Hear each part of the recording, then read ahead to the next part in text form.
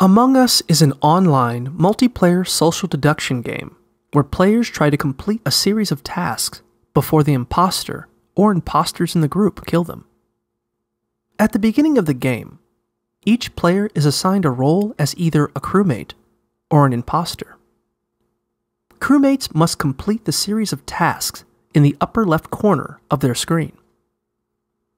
Tasks include things like downloading and uploading data, repairing wires, and emptying chutes, and they're located at different points throughout the ship. Imposters, on the other hand, must kill the crewmates while blending in with them so they're not caught and ejected from the ship. Imposters can't complete tasks like the crewmates, but they can pretend to do tasks to blend in.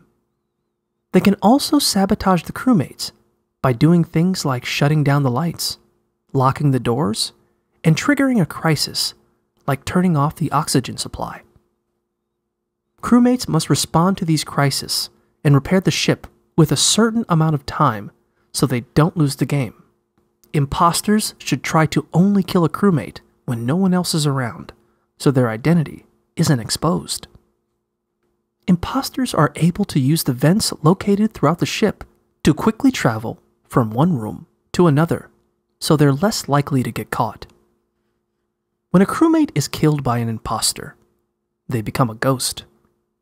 Ghosts can continue to complete their task, but they can no longer communicate with the other crewmates. If a crewmate discovers a dead body, they can report it and call a meeting between all of the players. Crewmates can also call a meeting by hitting the emergency meeting button located in the cafeteria of the ship. During these meetings, players discuss who they think the imposter is and then vote to eject someone from the ship. Imposters can also participate in these discussions and attempt to trick the crewmates into voting to eject one of their own. Once a player is ejected, it's revealed whether or not they were an imposter. If any imposters remain on the ship, the game continues. If the crewmates complete all of their tasks or eject all of the imposters off of the ship, they win the game.